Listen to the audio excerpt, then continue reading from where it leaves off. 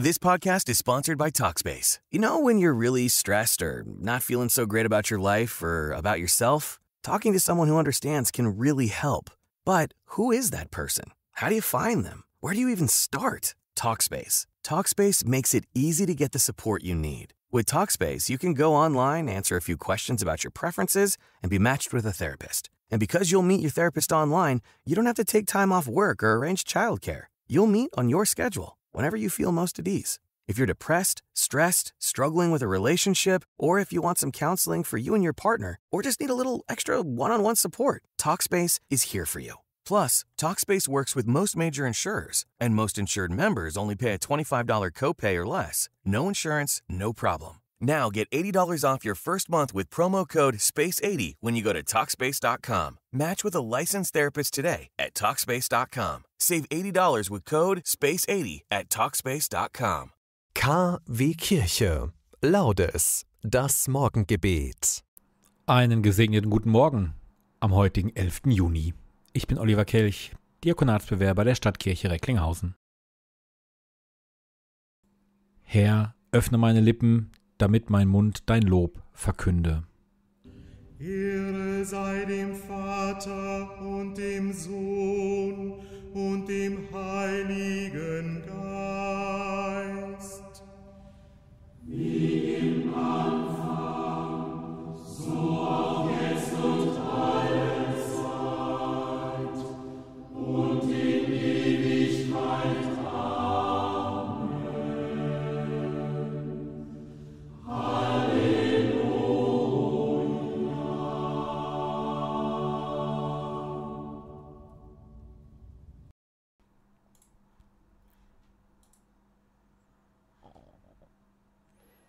Heute gedenkt die katholische Kirche dem heiligen Barnabas. Der hieß ursprünglich Josef und war ein zyprischer Levit. Den Beinamen Barnabas, Sohn des Trostes, erhielt er von den Aposteln. In der Apostelgeschichte wird er als Apostel bezeichnet, zählt aber nicht zum Kreis der Zwölf. Möglicherweise war er schon zu Jesu Lebzeiten dessen Jünger. Schon früh gehörte er zur Urgemeinde in Jerusalem und genoss dort großes Vertrauen. Wie die anderen Gemeindemitglieder soll auch er seinen Besitz verkauft und zur Verfügung gestellt haben. Ihm ist es zu verdanken, dass Paulus nach seiner Bekehrung in die Jerusalemer Gemeinde aufgenommen und von dieser als Heidenmissionar anerkannt wurde. Barnabas wurde zum Begleiter des Paulus. Beide wirkten dann gemeinsam in Antiochia und machten zusammen die ersten Missionsreisen nach Zypern und auch durch Kleinasien. Mit Paulus setzte sich Barnabas auf dem Apostelkonvent dafür ein, dass den Heidenchristen nicht die Gesetze der Juden auferlegt wurden. Später kam es dann zu einem Streit und die beiden trennten sich. Barnabas ging daraufhin mit seinem Vetter Markus nach Zypern. Danach ist über sein Leben wenig bekannt. In der zweiten Hälfte des ersten Jahrhunderts soll er den Märtyrertod durch Steinigung erlitten haben. Und somit beten wir heute in der Laudes auch für den und auf den heiligen Barnabas. Lob sei dem Vater und dem Sohn, dem Heiligen Geist auf gleichem Thron, im Wesen einem Gott und Herrn, den wir in drei Personen ehren. Beten wir Psalm 37. Der Frevler sinnt, auf Ränke gegen den Gerechten und knirscht gegen ihn mit den Zähnen. Der Herr verlacht ihn, denn er sieht, dass sein Tag kommt. Die Frevler zücken das Schwert und spannen ihren Bogen. Sie wollen den Schwachen und Armen fällen und alle hinschlachten, die den rechten Weg gehen. Ihr Schwert dringe in ihr eigenes Herz und ihre Bogen sollen zerbrechen. Besser das wenige, das der Gerechte besitzt, als der Überfluss vieler Frevler denn die Arme der Frevler werden zerschmettert, doch die Gerechten stützt der Herr. Der Herr kennt die Tage der Bewährten, ihr Erbe hat wenig Bestand. In bösen Zeiten werden sie nicht zu Schanden, sie werden satt in den Tagen des Hungers. Doch die Frevler gehen zugrunde, die Feinde des Herrn sind wie die Pracht der Auen, sie schwinden dahin, wie Rauch schwinden sie hin. Der Frevler muss borgen und kann nicht bezahlen, doch freigebig schenkt der Gerechte. Denn wen der Herr segnet, der wird das Land besitzen, aber wen er verflucht, der wird ausgetilgt. Der Herr festigt die Schritte des Mannes, er hat Gefallen an seinem Weg. Auch wenn er strauchelt, stürzt er nicht hin, denn der Herr hält ihn fest an der Hand. Einst war ich jung, nun bin ich alt. Nie sah ich einen Gerechten verlassen, noch seine Kinder betteln um Brot. Allzeit ist er mildtätig, gern leiht er aus, seine Kinder werden zum Segen. Meide das Böse, tu das Gute, so bleibst du wohnen für immer.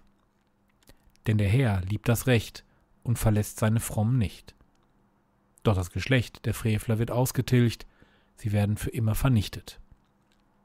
Die Gerechten werden das Land besitzen und darin wohnen für alle Zeit. Ehre sei dem Vater und dem Sohn und dem Heiligen Geist, wie im Anfang so auch jetzt und alle Zeit und in Ewigkeit. Amen.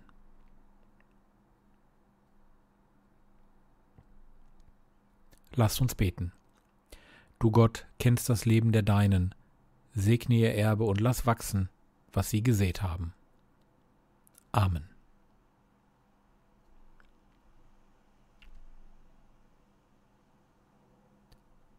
Hören wir die Lesung aus dem Römerbrief. Ich schäme mich des Evangeliums nicht. Es ist eine Kraft Gottes, die jeden rettet, der glaubt. Zuerst den Juden, aber ebenso den Griechen. Denn im Evangelium wird die Gerechtigkeit Gottes offenbart aus Glauben zum Glauben, wie in der Schrift steht. Der aus Glauben Gerechte wird leben. Wort des lebendigen Gottes.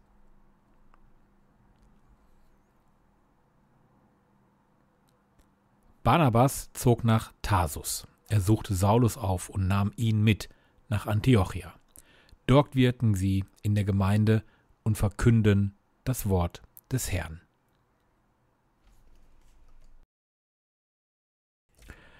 Gepriesen sei der Herr, der Gott Israels, denn er hat sein Volk besucht und ihm Erlösung geschaffen. Er hat uns einen starken Retter erweckt, im Hause seines Knechtes David. So hat er verheißen von alters her, durch den Mund seiner heiligen Propheten. Er hat uns errettet vor unseren Feinden und aus der Hand aller, die uns hassen.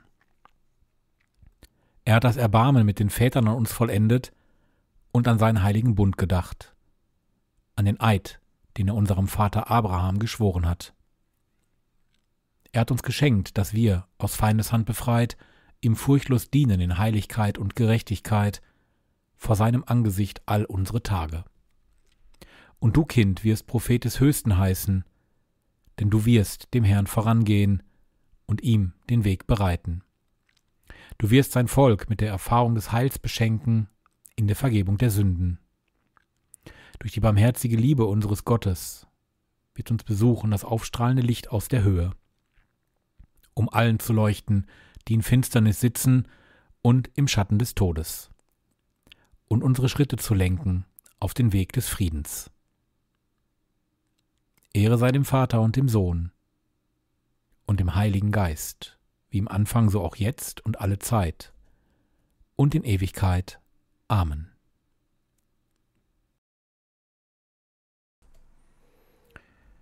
Verkündiger wie Barnabas werden gebraucht. Der heute vor 100 Jahren gestorbene Komponist Theodore Dubois nutzte die Sprache der Musik. Wir bitten Gott, der sie uns geschenkt hat, dass wir zur Ruhe kommen, dass wir innerlich bereit werden für das Kommen des Herrn und dass wir den Sinn, den du stiftest, mit allen Sinnen in uns aufnehmen. Guter Gott, öffne uns Ohren und Herz.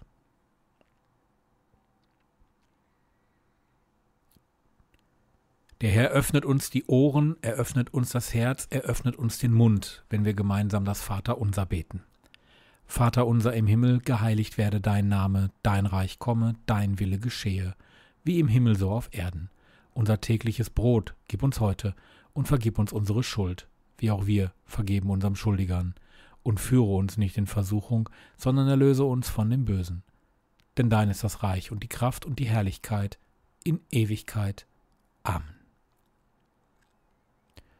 Ich wünsche euch einen gesegneten Dienstag, 11. Juni. Macht was draus. Bitten wir nun den Herrn um seinen Segen. Lasst uns zuvor auf den heiligen Barnabas beten.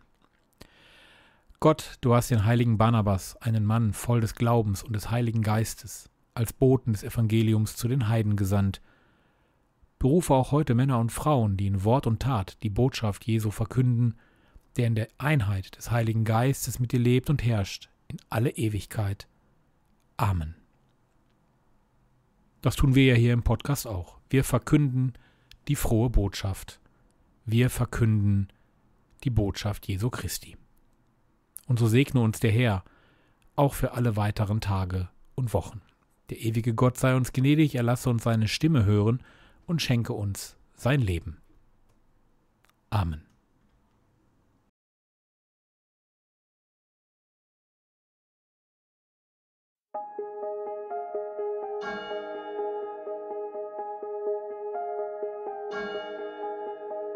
Keyboard, Magazin und Töne der Stadtkirche Recklinghausen. Grüß euch, ich bin Oliver Kelch, Diakonatsbewerber der Stadt Recklinghausen. Keyboard, das ist euer neues Magazin mit News und Tönen aus der Stadtkirche. Die Propsteipfarrei St. Peter, die Pfarrei Liebfrauen, die Pfarrei St. Antonius. Die haben eine Menge zu bieten an Terminen, News und Tipps und die finden hier ab sofort ihren Platz. Die Kirchengemeinden kommen bei uns zu Wort, Nein, in den Reportagen, Interviews und News gibt es natürlich auch die Vereine, Verbände, Einrichtungen, Organisationen der katholischen Kirche hier bei uns in der Stadt. Keyboard entsteht im Rahmen meiner Ausbildung zum Diakon als sogenanntes Praxisprojekt. Ich freue mich, wenn ihr uns hört und uns weiterempfehlt. Also, wir hören uns bei Keyboard, dem neuen kirchlichen Magazin der katholischen Kirchen in Recklinghausen.